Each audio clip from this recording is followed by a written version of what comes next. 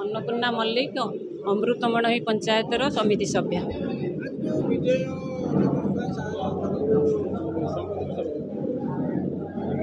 ଆଜି ବିଜୟ ଭାଇଙ୍କୁ ସମ୍ମାନିତ କରାହେଇଥିଲା। ନାହାଦିଆ ପୋଲ ଠାରୁ ଆରମ୍ଭ କରି ବାଇକ୍ ନେଇକି ତାଙ୍କୁ ସମ୍ବର୍ଦ୍ଧନା କରାଯାଇଥିଲା।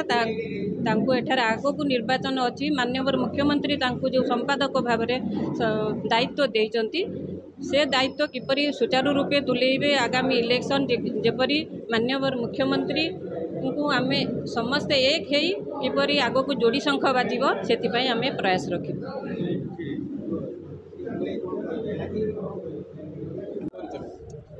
ମୋ ନାଁ ଅଭୟ କୁମାର ସ୍ୱାଇଁ। ମୁଁ ସିଂହଗାଁ ଗ୍ରାମ ପଞ୍ଚାୟତ ସମିତି ସଭ୍ୟ। ଦେଖନ୍ତୁ ଇଏ ଆଜିର ଯେଉଁ ସମ୍ବର୍ଦ୍ଧନା ସଭାଟା ହେଇଛି ଇଏ ସମଗ୍ର ଧୋଇଆ ଅଞ୍ଚଳର ସାତ କୋଟି ପଞ୍ଚାୟତକୁ ନେଇକି ଗଠନ କରାଯାଇଛି। ଏଇଥିପାଇଁ କରାଯାଇଛି ଯେ ବିଜୟ ସ୍ୱାଇଁ ଯିଏ ବିଜୁ ରାଜ୍ୟ ଜନତା ବିଜୁ ରାଜ୍ୟ ଜନତା ଦଳର ସାଧାରଣ ସମ୍ପାଦକ ଭାବରେ ଯେତେବେଳେ ନବୀନ ପଟ୍ଟନାୟକ ତାଙ୍କୁ ପ୍ରତିଷ୍ଠା କରିଛନ୍ତି ବିଜୟ ସ୍ୱାଇଁ ଏ ଅଞ୍ଚଳ ଏ ଧୋଇଆ ଅଞ୍ଚଳ ପାଇଁ ଏକ ସୁପର ମାନେ ପରିଚିତ ଲୋକ ଯେ ସମସ୍ତ ଅଞ୍ଚ- ଅଞ୍ଚଳବାସୀଙ୍କ ହୃଦୟରେ ବସିଥିଲେ। କାରଣ ସିଏ ଶରଦ ଦେବଙ୍କ ପିରିୟଡ଼କୁ ବିଜୁ ପଟ୍ଟନାୟକ ପିରିୟଡ଼ରୁ ଇଏ ଅଞ୍ଚଳକୁ ଯେତେବେଳେ ସାରା ରାଜ୍ୟ କଂଗ୍ରେସରେ ସମସ୍ତେ ଥିଲେ ତାଙ୍କର ପ୍ରଚଣ୍ଡ ଉଦ୍ୟମ ପାଇଁ ମାନେ ସିଏ କ'ଣ କରନ୍ତି ଦାନ୍ତ ଘଷି ନଥିବେ ସକାଳୁ ଆସିକି ଲୋକ ଉଠି ନଥିବେ ସିଏ ଜନତା ଦଳକୁ ପ୍ରତିଷ୍ଠା କରିବା ପାଇଁ ତାଙ୍କର ଯେଉଁ ଦୃଢ଼ ସଂଗଠନ ଏବଂ ତାଙ୍କ ନେତୃତ୍ୱରେ ଏ ସମଗ୍ର ଧୋଇଆ ଅଞ୍ଚଳ ସାତ ପଞ୍ଚାୟତ ଯେ ଏଠି ଗୋଟେ କଂଗ୍ରେସ ବେଲ୍ଟ ବିଶ୍ୱନାଥ ମଣି ଥିଲେ ଏମ୍ ଏଲ୍ ତାର ପ୍ରଭାବ ସତ୍ତ୍ୱେ ଏଠି ଜନତା ଦଳର ଯେଉଁ ସ୍ଥିତି ପକାଇଥିଲେ ସେଥିପାଇଁ ସାରା ଅଞ୍ଚଳବାସୀ ତାଙ୍କୁ ଆଜି ହୃଦୟରେ ମନେ ରଖିଥିଲେ ସେ ତଳେ ତାଙ୍କୁ ବିଜୁ ନବୀନ ପଟ୍ଟନାୟକ ଯେତେ ସୁଯୋଗ ଦେଇଛନ୍ତି ସେଥିପାଇଁ ଧୋଇଆ ଅଞ୍ଚଳ ତାଙ୍କୁ ସ୍ୱତଃପଥ ଭାବରେ ଗୋଟେ ମାନେ ସମ୍ବର୍ଦ୍ଧନା ଦେଇ ନିଜକୁ ଗୌରବ ମନେ କରିଛନ୍ତି। ଏ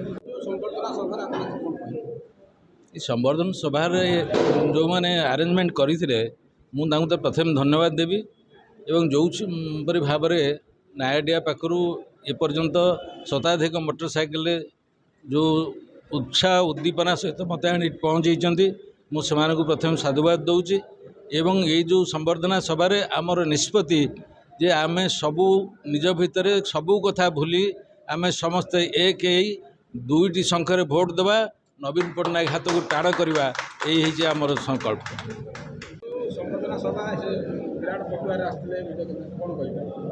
ଆ- ଆଜି ବହୁତ ମାନେ ବିଜୟ ସ୍ୱାଇଁ ଯେ ଆମର ଏ ଅଞ୍ଚଳର ଗୋଟେ ପୁ- ପୁରାତନ ଲୋକ ସିଏ ଆ, ଦୀର୍ଘ ପଚିଶ ବର୍ଷର ଆମେ ଦୂରେଇ ଗଲେଣି ଦୂରେଇ ଯାଇଥିଲେ। ଯାହା ହଉ ସିଏ ଆମ ଭାଇ ବଡ଼ ଭାଇ ହିସାବରେ ସିଏ ଆଜି ଆମ ଗହଣରେ ମିଶିଛନ୍ତି ଆମେ ବହୁତ ବହୁତ ଖୁସି। ବହୁତ ଖୁସି ଆମ ଅଞ୍ଚଳ ଖୁସି ମୁଁ ନୁହଁ ଏକା। ଏ ଅଞ୍ଚଳ ଖୁସି କ'ଣ କହିଲ? କର୍ମୀମାନଙ୍କୁ ତ ଆମେ କହିଦେଇଛୁ କର୍ମୀ ଯେ ଆମର ଯେ ପ୍ରକୃତରେ ଇଏ ଉଁ, ସେ ଆସି ଆମ ଗହଣରେ ମିଶିଛନ୍ତି ଯାହାଫଳରେ ଆମର ଆହୁରି ଶକ୍ତି ବୃଦ୍ଧି ହେଇଛି।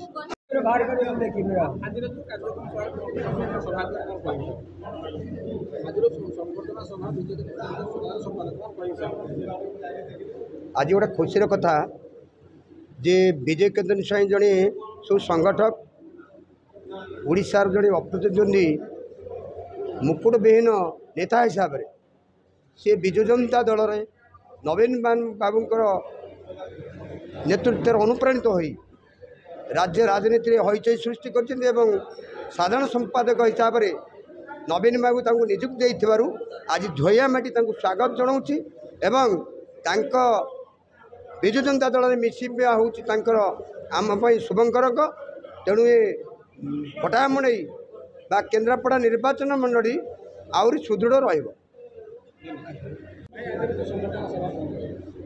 ଆଜିର ସମ୍ବର୍ଦ୍ଧନା ସଭାରେ ମୁଁ ତ ଅଧିକ କିଛି ମନ୍ତବ୍ୟ ଭାଇଙ୍କ ବିଷୟରେ ଦେବାକୁ ଚାହୁଁନି। କାରଣ ସିଏ ମୋର ପଥ ପ୍ରଦର୍ଶକ ରାଜନୈତିକ ଗୁରୁ ମଧ୍ୟ ଥିଲେ। ଏହି ରାଜନୀତି ଜୀବନକୁ ଯେତେବେଳେ ପ୍ରଥମ କରି ମୁଁ ନୂଆ କରି ରାଜନୀତି କ'ଣ ଜାଣୁଥିଲି ଏଇ ବଡ଼ ଭାଇ ବିଜୟ ଭାଇଙ୍କଠୁ ଶୁଣୁଥିଲି ଏବଂ ବିଜୟ ଭାଇଙ୍କଠୁ ଶିଖିଥିଲି। ଆଜି ଯଦି ମୁଁ ଏ ସଭ୍ୟ ଭାବରେ ଏଠି ପ୍ରତିଦ୍ୱନ୍ଦିତା କରି ମୁଁ ନିର୍ବାଚନରେ ସଫଳତା ପାଇଛି ତାଙ୍କ ପ୍ରଚ୍ଛଦ ପଟେ ରହୁଛନ୍ତି ବିଜୟ ସ୍ୱାଇଁ। ସେ ଜଣେ ଏଭଳି ମଣିଷ ଥିଲେ ଏଭଳି ପରୋପକାରୀ ମଣିଷ ଥିଲେ। ମୁଁ ଯେତେବେଳେ ପଟାମୁଣ୍ଡେଇ ଯାଏ ସେଇ ଭାଇଙ୍କର ଆଦର୍ଶରେ ମଧ୍ୟ ଅନୁପ୍ରାଣିତ ହେଇଥିଲି। ସବୁବେଳେ ତାଙ୍କ କଥା ମୋତେ ଏତେ ସୁନ୍ଦର ଭାବରେ ଗଢ଼ି ତୋଳିଥିଲା ଯାହାକି ଆଜି ମୁଁ ଏକ ପ୍ରକାର ସଫଳ ରୂପାୟନ ପାଇଛି। ତାଙ୍କ ବିଷୟରେ ଅଧିକ କିଛି କହିବା ପାଇଁ ମୁଁ ବି ଜାଣି ମାନେ କହିବାକୁ ମୋ ପାଖରେ ଭାଷା ବି ନାହିଁ ସେ ମୋ ପାଇଁ ଜଣେ ଗୁରୁ ଆଉ ଜଣେ ପଦ ପ୍ରଦର୍ଶକ ମୋ ରାଜନୀତି ଗୁରୁ। ମୁଁ ଏତିକି ତାଙ୍କ ପାଖରେ ଚିରମସ୍ତକ ସବୁବେଳେ ଚିରନମସ୍ୟ କୋଟି କୋଟି ପ୍ରଣାମ ଜଣାଇ ମୁଁ ମୋର